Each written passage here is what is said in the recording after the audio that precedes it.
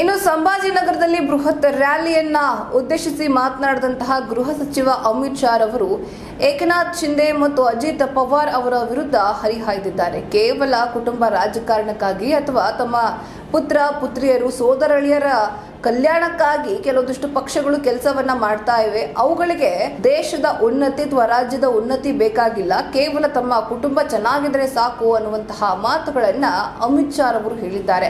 India ಮೈತ್ರಿಕೂಟದಲ್ಲಿ ಶಾಮೀಲಾಗಿದ್ದಂತಹ ಪಕ್ಷಗಳ ಬಗ್ಗೆಯೂ ಸಹ ಇಲ್ಲಿ ಮಾತನಾಡಿದಂಥದ್ದು. ಆದರೆ ಮುಖ್ಯವಾಗಿ ಏಕನಾಥ್ ಶಿಂದೆ ಮತ್ತು ಅಜಿತ್ ಪವಾರ್ ಅವರನ್ನ ಅಲ್ಲಿ ಟಾರ್ಗೆಟ್ ಮಾಡಲಾಗಿತ್ತು ಅನ್ನುವಂತಹ ದೃಶ್ಯಗಳು ಕಂಡುಬಂದವು